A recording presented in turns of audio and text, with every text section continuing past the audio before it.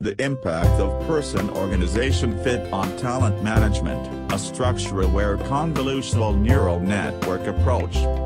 Person-organization fit refers to the compatibility between employees and their organizations. It has a great impact on employees' work attitude, turnover intention, and job performance.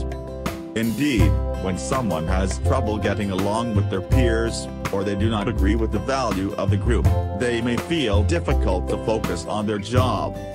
In contrast, when their values and characteristic match well with their organization, they will feel more comfortable during work and can usually achieve better performance.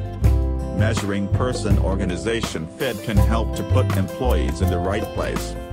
But how can we achieve this? Our work gives a data-driven solution with a neural network model. Having employees' behavior data and the organizational structure. We project employees' behavior data to form their feature vectors. Then we apply organizational structure-aware convolutional operation on these employees to extract their environmental features.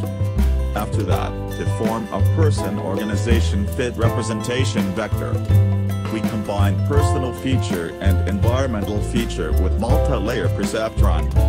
As it contains information about how the employee fit with their organization.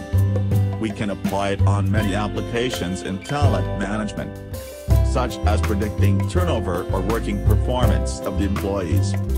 Since there are always organizational changes in a company, we apply the recurrent neural network with attention mechanism to dynamically model employees' person-organization fit in a period of time.